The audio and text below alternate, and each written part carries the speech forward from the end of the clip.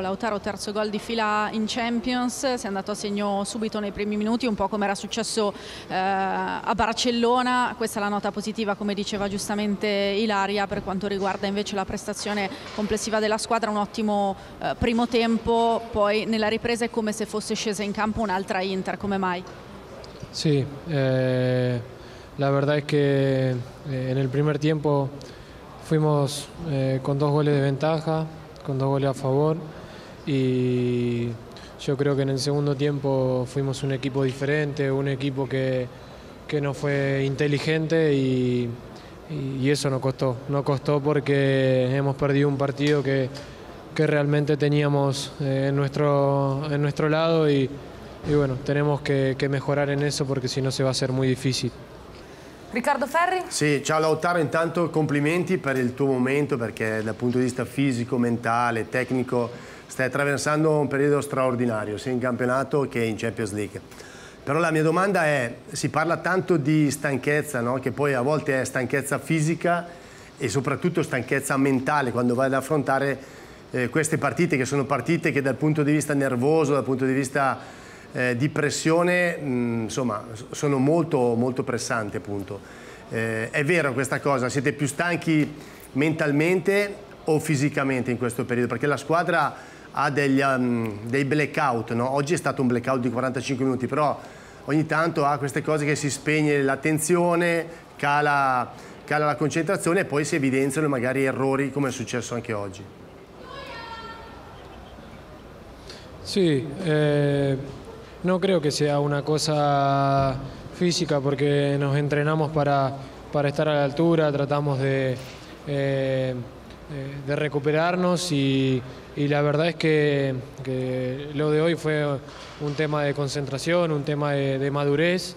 Eh, necesitamos madurar porque, lo vuelvo a repetir, lo dije en el partido contra Barcelona, eh, los pequeños detalles, las, eh, las diferencias son las que, las que te hacen ganar o perder los partidos, entonces tenemos que, que tratar de mejorar eso, de estar atentos, de, de, de estar concentrados todo, todo, el partido y que no sea eh, un primer tiempo eh, con dos goles a, arriba y después eh, que cambie la, la partita de, de, un momento para otro. Uh, Lautaro, l'ultima te la faccio io, l'Inter al di là di questa sconfitta rimane comunque padrona del suo destino perché con sei punti eh, si passa il girone. Sí, ahora tenemos que pensar en el, en el campeonato. Tenemos un partido complicado en nuestra casa, con nuestra gente, así que tenemos que volver a ganar para no, no perder más puntos. Y después, obviamente, eh, pensaremos en Champions, en lo que queda, eh, en los partidos que tenemos que, jugar. Y, y, obviamente que sí, que corremos de atrás y tenemos que, eh, que conseguir los seis puntos para tratar de, de que nos ayuden los resultados y pasar de fase. Mattias, eh, grande personalità, eh, quello che vi aveva chiesto il mister alla vigilia per affrontare questa partita si è vista tutta fin dai primi eh, minuti del, del, primo tempo, tanto è vero che siete andati in vantaggio eh, di due gol, poi il blackout nella ripresa, come te lo spieghi? È stato un calo fisico o mentale? Eh, beh, sicuramente dopo il buon primo tempo che abbiamo fatto ci aspettavamo altro, il secondo tempo sapevamo che loro eh, sicuramente cercavano di, di, ribaltare il risultato, penso che ci siamo abbassati un po' troppo, poi non riuscivamo a tenere palla lo sufficiente per poter ripartire e abbiamo fatto fatica, abbiamo fatto fatica perché ci hanno fatto girare la palla veloce, non riuscivamo a, a trovare le misure e ci hanno fatto male, dopo l'1-2 hanno preso ancora più coraggio e è diventato sempre più, più difficile perché secondo me ci, manca, ci è mancato un po' palleggiare di più. Riccardo? Sì, ciao Mattias.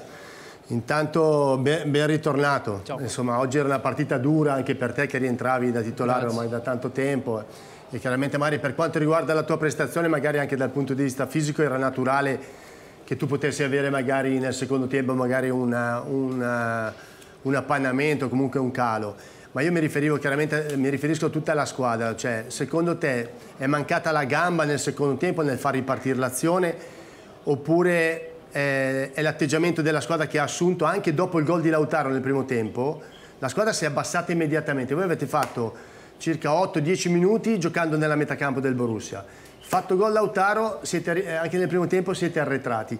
Nel secondo tempo subito l'atteggiamento è stato di una squadra davanti alla, alla linea difensiva chiusa e poi la difficoltà proprio di far ripartire l'azione, quindi un problema dal punto di vista diciamo, mentale o proprio fisico, di non, di non avere la gamba per poter andare a offendere. Eh, sì, sì, è stato così. Penso che poi una, una cosa ti porta all'altra. Eh, quando ti abbassi così troppo, noi siamo una squadra che soffriamo a difendere basso, eh, si è visto. E poi quando difende così lontano da, dalla porta avversaria, il campo rimane lungo e ovviamente ti mancano le gambe per ripartire. Per quello era importante nel momento di difficoltà cercare di mantenere di più la calma, far girare un po', un po di più la palla per abbassare i ritmi e così prendere un po' più di forza per, per arrivare con più uomini. Eh, ci sono cose da imparare, ovviamente ovviamente eh, ci sono momenti che devi rallentare la partita, soprattutto fuori casa quando stai vincendo e, e niente, c'è da, da ancora da migliorare e continuiamo a lavorare. A questo proposito che cosa vi insegna questa sconfitta Mattias? Eh no, è dura quando perdi una partita così che stai vincendo 2-0 e dobbiamo ripartire da, dalla, dalla, delusione, dalla rabbia di, di, della sconfitta di oggi per, perché ancora siamo in corsa, non è ancora finita e dobbiamo continuare a, a lottare fino all'ultimo. Eh, che ti posso dire, credo che ancora eh, abbiamo margine per, per continuare a crescere e, e, niente, dobbiamo andare avanti perché già sabato abbiamo un'altra partita. Grazie Mattia. Prego, ciao. Eccoci qui con eh, Diego Godin. Diego, sono stati 45 minuti di altissimo livello, grande personalità, quello che vi aveva chiesto il mister eh, ieri alla vigilia, poi il blackout. Nella ripresa avete subito la rimonta. Che cosa è successo? Sí, hicimos un, un gran primer tiempo. Eh, fuimos a buscar el, al Dortmund alto, eh, pudimos presionar en, bien en campo rival, salir rápidamente y encontrar espacios a la espalda de la defensa.